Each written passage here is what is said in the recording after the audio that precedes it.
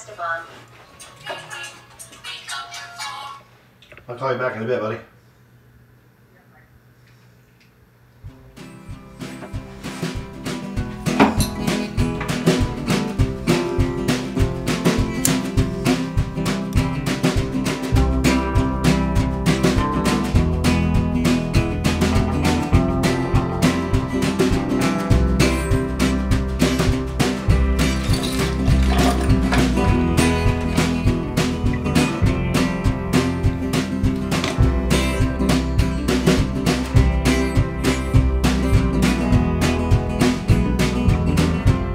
It was liberating for me to be able to just act more aggressive and be uh, just a sexier person than I had been just being Dave.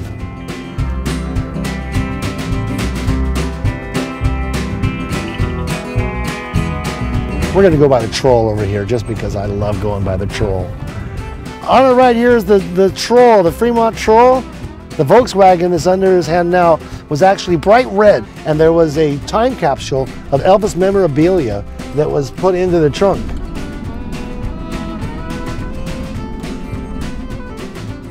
Now, a lot of people think that the Space Needle is the most photographed thing in Seattle, but it's not. This is.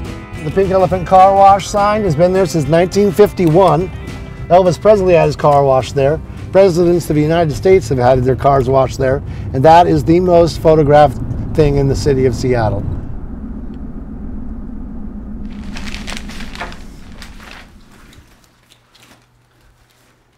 Is it business?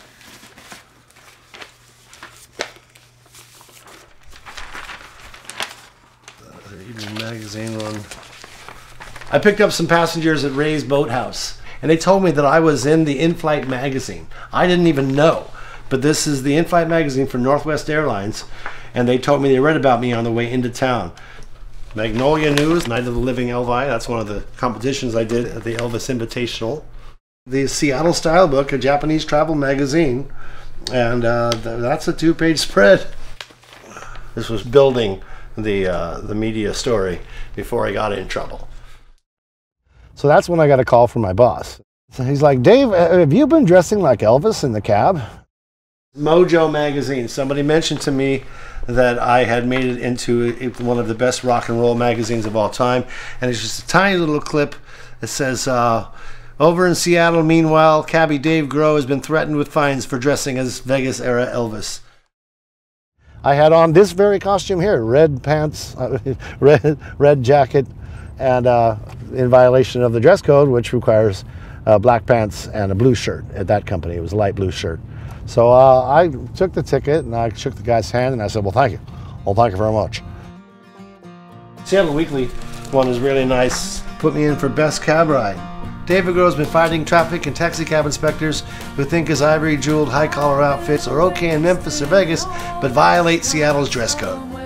So we filed a lawsuit challenging their dress code on the First Amendment grounds because you know it's a freedom of expression, freedom of speech.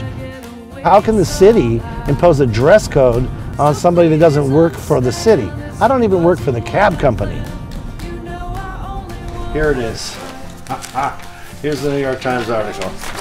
It is in the A section for hire in Seattle, a rebel in rhinestones.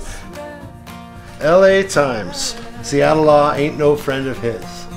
This is the front page of Los Angeles Times, their Sunday copy. So the city attorney got a hold of my attorney and asked would I drop the lawsuit if they changed the law. And of course, that's I never tried to sue for any money. I wasn't out for any monetary gain. I just wanted to be able to wear the Elvis costume because it brought me a lot of joy to bring that much happiness to everybody else. I mean, when people see me in traffic, it just just often just the people right across from me be like, "Hey, look, there's Elvis," and, they then they smile and, and light up and and uh, you know you never know. Hi there. Sometimes it's bus drivers or garbage collectors, you know, just people walking down the street with their kids. Be like, "Oh, look, there goes Elvis," and you know that that that pool, that reservoir of love that Elvis left behind, it's bottomless.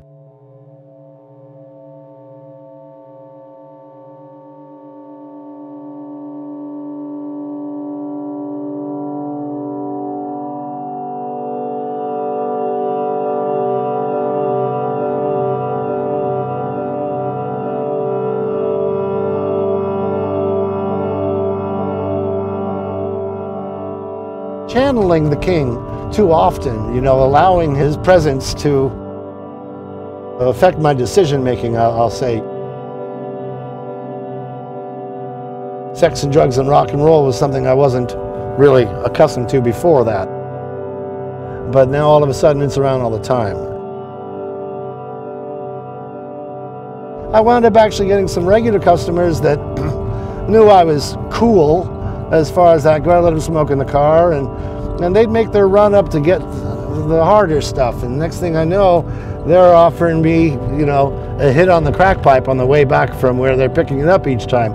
And then it's you want to come inside and smoke some with us. And then now I know where to get it, and, and I've met the people on both ends of that. So now I've developed a connection where instead of going to work, or I'd go to work and I'd make 40 bucks and I'd call somebody up and have them bring me some crack and I'd sit in my house for three days and smoke that instead of working. So that almost killed me.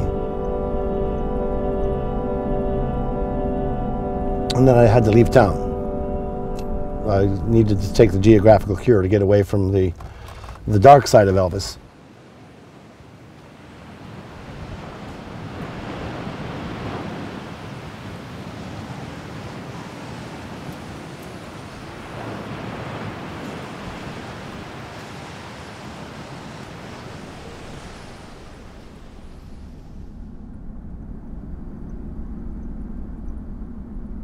I still wear the costumes now, mostly just on the weekends.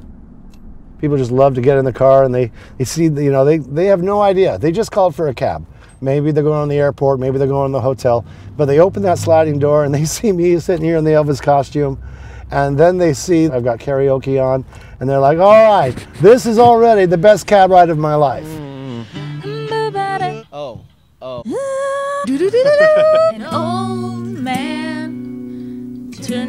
98. Time is right, your perfume fills my head. The stars get red and know the night's so blue. It's a terror with knowing what The world's about. Watching some good friends scream, let me out. Some will win, some will lose. Do you like love or hate Yelp? What do you think about Yelp? Stars put the Beatles on, all that shit you talking about. I'm up for discussion. No reduction.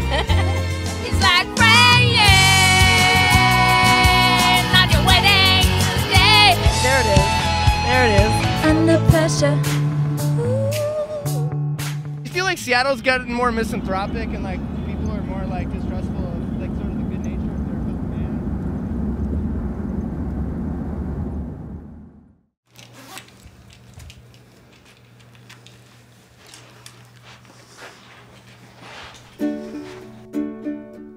Am I going to be a cab driver for the rest of my life?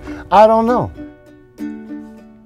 Probably for the rest of my life, in one way or another, I'm going to want to put the Elvis costume on and bring the joy. I'm fortunate that I've been able to tap into this reservoir of love that, that he left behind.